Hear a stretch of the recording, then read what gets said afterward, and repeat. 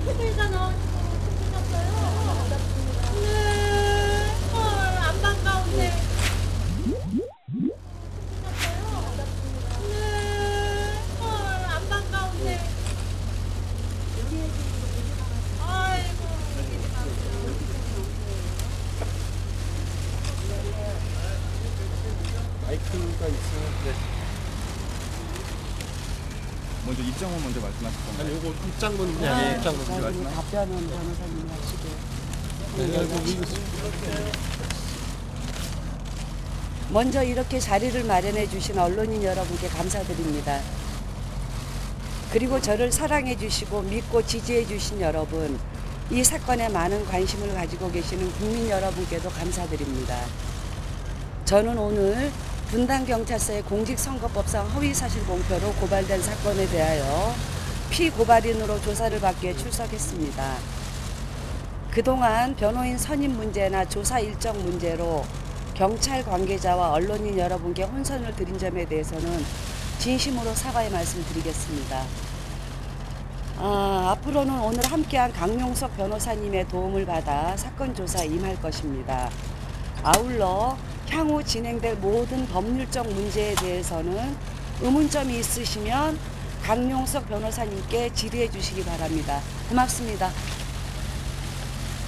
김선 씨에게도 간단히 질문 드리겠습니다. 뭐 어려운 내용은 아니고요. 질문은 제가 네. 드릴 거고요. 요 아니 당사자에게 여쭤볼 질문도 간단히 아니, 제 있는데 제 네. 대변인 변호사님이시기 때문에 입장은 여기 입장문은 여기 있으니까 필요하신 분은 예, 좀 읽어주시죠 변호사님이. 네, 저 뒷부분은. 예, 제가 말씀드릴 건데요. 알겠습니다. 네. 예, 오늘 저희가 이 피고발 사건이 있고 또 참고인으로서 조사받는 사건이 있는데요. 에, 피고발인으로 돼 있는 사건에 대해서는 오늘 조사에 성실히 응할 생각이지만 바른미래당에서 이재명 지사를 고발한 공직선거법 위반 사건이 있습니다. 이 부분에 대해서는 어, 참고인 신분이라서 어, 이곳 분당경찰서에서는 진술 거부권을 행사할 예정입니다. 에, 분당경찰서는 이재명 어, 도지사가 8년간 성남시장으로 재임하면서 관할했던 경찰서고 또 성남 지역의 경찰서와 경찰서 직원들과 조폭 운영회사 그리고 이재명 지사와의 커넥션 등이 어, 언론 등에 의해서 밝혀지기도 한 적이 있습니다. 에, 그래서 이런 상황에서 저희가 분당경찰서가 이 중요한 여러분들이 관심을 갖고 있는 그 중요한 사건에 대해서 공정하게 수사하기를 어, 기대할 수가 없고 또 그동안 수사 진행 과정을 보더라도 어, 여러 가지 좀 공정성을 의심할 만한 정황이 있었다 이렇게 보여집니다. 그래서 어, 김부선 씨는 이재명에 대해서 공직선거법 위반, 정보통신망법 위반, 명예훼손, 무고 등으로 어, 고소장을 서울에 소재한 검찰청에 다음 주 중으로 제출할 예정입니다. 그래서 이재명 도지사의 영향력이 덜 미치는 서울에서 고소인으로서 당당히 조사에 응하고 이재명에 대해서 법의 심판을 받게 할 것입니다. 애초 9월 10일에 출석하신다고 하셨는데 네, 변호인 선임이 좀 늦어지면서 9월 10일 9월 10일 이전에 네, 네 변호인 선임이 제가 변호인 선임이 늦어지면서 지금 차 안에서 계약서에 도장을 찍었습니다. 네. 아, 계약을 지금 네, 하신 건가요? 네, 쉽지 않았습니다. 그 민주당 쪽 사람들을 아무래도 좀 제가 이제 진보 쪽에 있는 지지했던 사람이기 때문에 기왕이면 이런 말씀이 좀 우습게 들릴지 모르가 같은 편한테 좀 도움 받고 싶었는데 정치 성향이 다르다고 생각을 왜 했는데 10년 전에 얘기 안 했어요? 정말 제가 그 이재명 지지자 여러분들한테 밝혀드리고 싶은 게 있습니다. 언론을 통해서 알게 됐는데요. 이재명 도지사는 짝퉁 참여연대고요. 강용석 변호사님은 진짜 5년 동안 박원서 박원순 시장님과 5년 동안 참여연대에서 활동한 투쟁가이시기도 합니다. 헐. 같은 진보입니다. 예, 그리고 그러니 이재명 지지자 여러분 저희들도 좀 지지해 주시고요. 적폐가 적폐를 밝히는데 뭐 진보 보수가 어디 있습니까? 그렇지 않습니까? 우리는 정치인들한테 너무 이골이 났잖아요. 거짓말에.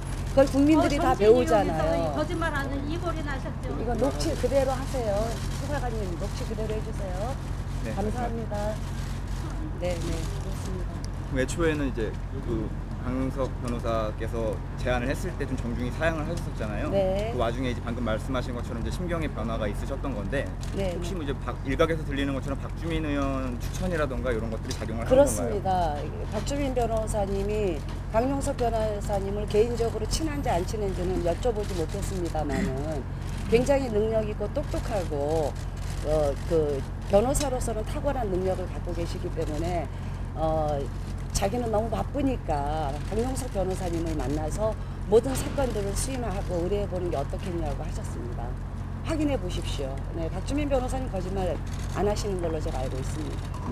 오늘 경찰 조사에서는 어떠한 진술을 하실 거예요? 어, 저는 그건 그, 요, 여기 지금 말씀드린 대로. 아, 네. 그냥 어, 그대로 5월 네. 20일 날 날짜를 헷갈린 거는 제가 한 게 아니고 김영환 씨가 실수를 하신 것이고요. 저는 분명히 7월 9일 날 노무현 대통령 그 추도식에 가는데 이재명 씨로부터 전화를 받고 옥수동 집에서 만나자는 전화를 받았으나 거절하고 봉화로 내려가서 1박을 하고 추도식에 참여하고 사진까지 있습니다.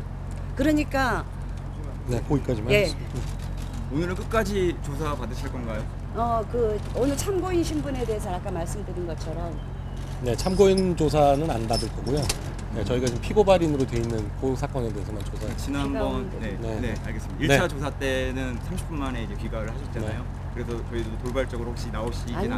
않을까. 어, 오늘도 길진 않을 겁니다. 좀 그게. 불편한 일이 네. 있었습니다. 지금 말씀드리겠습니다. 아니, 아니, 조사- 그 얘기는- 네, 아예. 네.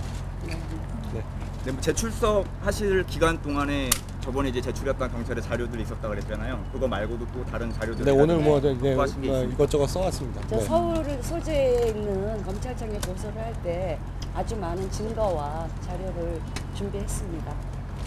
혹시 이재명 지사님께 할 말 있으시면 마- 매우 마, 매우 마음이 아프고 안타깝습니다.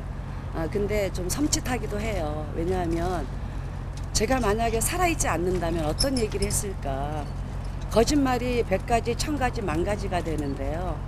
너무 측은한 마음까지 들고 한때 그래도 연인이었던 사람인데 에, 다시는 이런 불행한 일이 없었으면 좋겠습니다. 저도 어리석었고요. 어, 뭐 싱글이라고 했지만 이혼했거니 생각을 했습니다. 네, 여기까지 말씀드리겠습니다.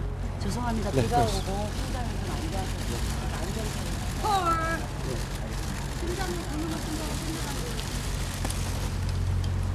어우 손이 떨려가지고 네. 잘하셨습니다.